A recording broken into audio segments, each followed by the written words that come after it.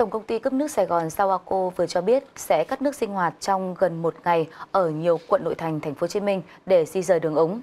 Dự kiến sẽ tiến hành sửa chữa trong khoảng thời gian từ 22 giờ ngày 1 đến 1 tháng 7 đến 20 giờ ngày 2 tháng 7. Việc cắt nước để thực hiện yêu cầu của khu quản lý đô thị số 3 thuộc Sở Giao thông Vận tải Thành phố Hồ Chí Minh về di rời tuyến ống nước đoạn từ cầu Hang Trong đến đường Tân Sơn Nhất Bình Lợi, phục vụ nâng cấp mở rộng đường Phan Văn Trị, quận Gò Vấp. Trong và sau khoảng thời gian từ 22 giờ ngày mùng 1 tháng 7 đến 20 giờ ngày mùng 2 tháng 7, do xáo trộn thủy lực sẽ có một số khu vực bị ảnh hưởng nước yếu và thiếu hay bị đục cục bộ. Các phường ảnh hưởng trực tiếp gồm 11, 12, 13 quận Bình Thạnh, phường 1, 3, 4, 5, 6, 7, 10 và 17 quận Phú Nhuận, phường 2, phường 4 quận Tân Bình, cụm sân bay Tân Sơn Nhất và các khu vực lân cận.